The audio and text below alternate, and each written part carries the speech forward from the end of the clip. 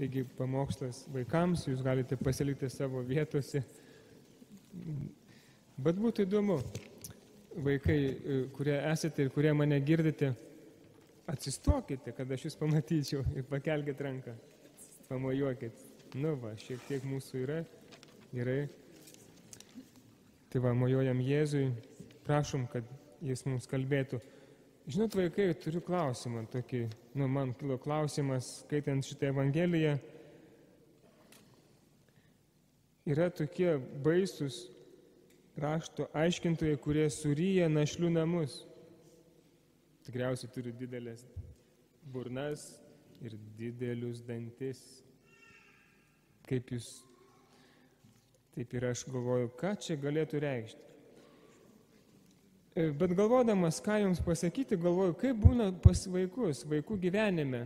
E, tai jūs dabar man padėsit pasakyti, kaip čia yra su tais surytais našlių namais. Pavyzdžiui, ar jums taip vaikai nebūna toks klausimas, o paskui jūs pakeldami ranką pasakysit, ar jums tai kažką sako, ar nieko nesako. Pavyzdžiui, tėvais, mamytė arba tėvelis sako, arba vyresnis brolis sesutė. Ateik man padėti tvarkyti kambarį. Jūs sakot, negaliu, dabar turiu daug namų darbų ruošti. O iš tikrųjų žaidžiat su, su kompiuteriu. Kažką darote, žiūrite visokius filmukus.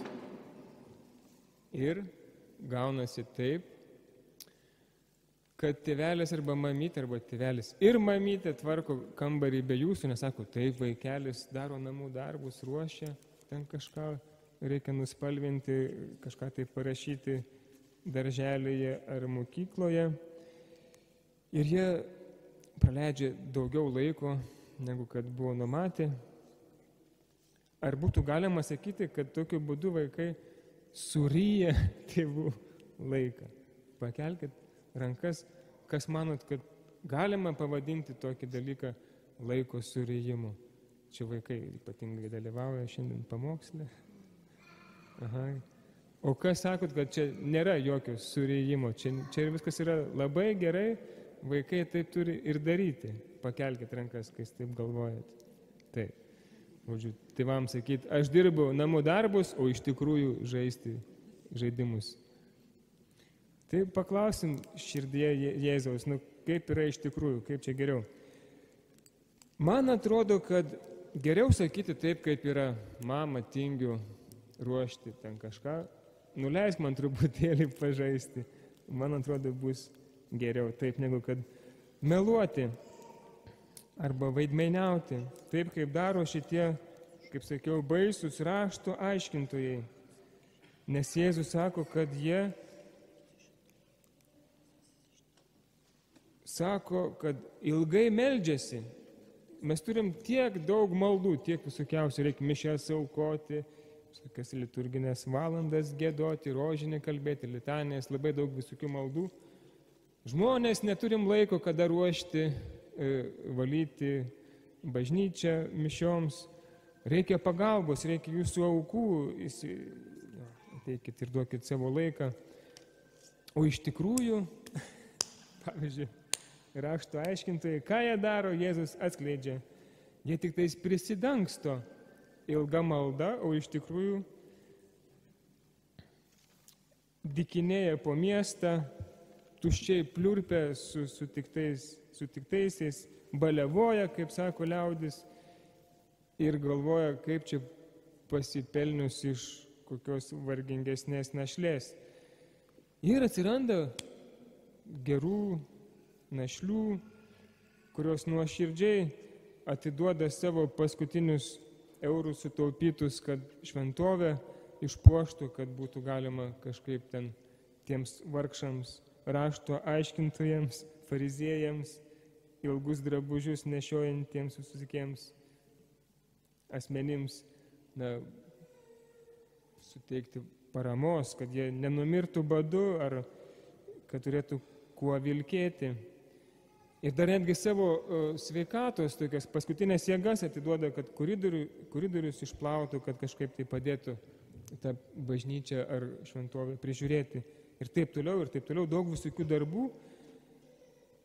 Ir man atrodo, vaikai, nežinau kaip jums, bet kad tokiu būdu šitie baisus rašto aiškintojai suryja tuos našlių namus, nes našlės, kurios turi ir taip mažai tų pinigėlių susitaupusius, galėtų už tos pinigus kažkokio geresnio maisto, turi savo nusipirkti geresnių vaistų ar savo senus pavargusius sanarius kokioje sanatorijoje pagydyti, o dabar viską atiduoda. Žinote, e, šitie dalykai, kaip aš sakiau ne, pradžioje, namų darbų ruošimas, ilga malda arba apskritai malda, nu jie patys savaime, žinokit, vaikai yra geras dalykas. Jie nėra blogi dalykai, e, tačiau e, tais gerais dalykais galima prisidengti e, kažko siekiant savo ar nenaudos. Pavyzdžiui, žinai, dabar yra populiarios kaukės, aš parodysiu vieną kaukę. Galima, pavyzdžiui, labai kviesti visus džiaugtis, išventę, sakyti, mums reikia jūsų dalyvavimo, štai aukų skrinelė, atneškite savo pinigėlius, viskas bus labai gražu. Ir mes e, nu, galime žmonėms pasirodyti labai tokie linksmi, nuoširdus, šventi žmonės, tokie šventuoliai, tikrai. Nors, pavyzdžiui, jeigu e, vaikai pamatytų, kas darosi žmogaus su tokia kaukė viduje, truputėlį gal ir išsigastų, tai būtų kažkas tokio arba nu, nelabai gražu, gali kai ką ir išgazdinti, nes čia yra tie suryjantis dantis, ar ne, kurie gali išgazdinti ne, ne vieną vaiką.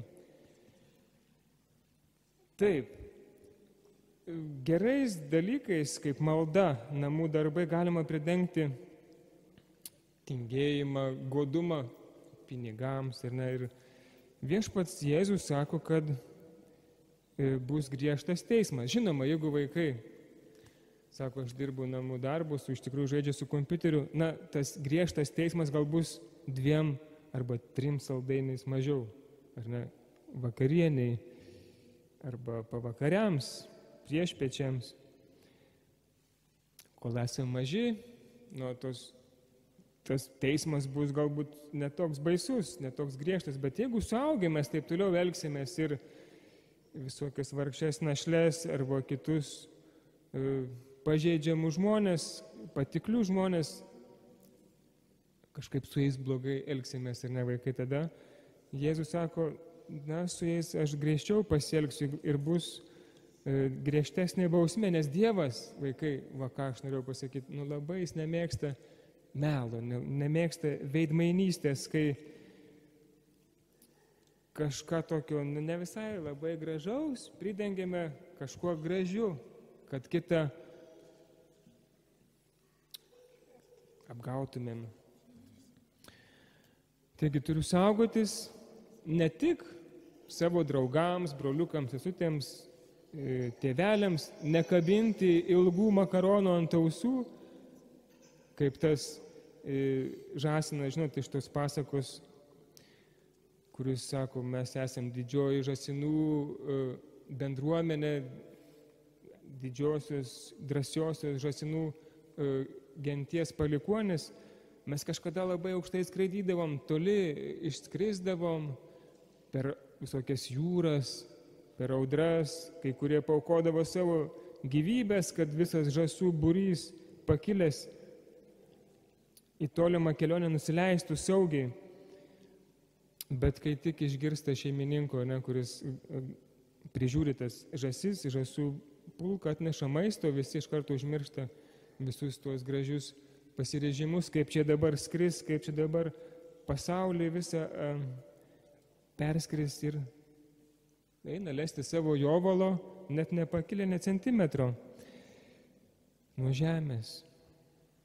Bet taip pat, vaikai, paskutinis dalykas, kurį norėjau pasakyti, kad na, tikrai nedara ir šventais dalykais, kaip pavyzdžiui kryžiaus ženklas arba Jėzaus arba mergelės Marijos vardais, na, pridengti savo kažkokius tai, kaip sako žmonės, prietarus, nu, visokiausius, tariamą religingumą. Pavyzdžiui, vienas netikinti žmogus sako, nu taip, aš netikiu Dievą, niekas man neįdomu jokia religija, bet kartą vienas žmogus paklausė jo, kodėl tu atsisėdęs į mašiną persižegnoji, taip vardant Dievą, kaip, kaip sako krikščionis, ir paskui netgi rankas sudedi. Bet žmogelis sako, ne, aš, aš visai ne taip darau. Sako, aš kai atsisėdu prie mašinos vairo, sakau, taip, nieko neužmiršau, skaniai pavalgiau, piniginę turiu kišenėje ir taip pat vairuotojų pažymėjimą, galiu važiuoti. Jėzus ne visai taip mokė kryžiaus ženklą daryti. Taip, va, prašykime vaikai, kad, kad Dievas mums padėtų gyventi ir daryti nu, taip, kaip kad sakome. Jeigu pasakiau, kad darau namų darbus, kad juos daryčiau. Jeigu, jeigu kažką kitą, tai kad taip ir sakyčiau. Ar sutinkat vaikai? Pakelkite rankas vaikai, kurie sutinkat, kad, nu, taip darytumėm, kaip ir sakome, kad sakytumėm taip, kaip darome. Matau, ten nedrąsiai keli. Ačiū vaikai už dalyvavimą šitame pamoksle. Drąsos viešpats jūs te laimina.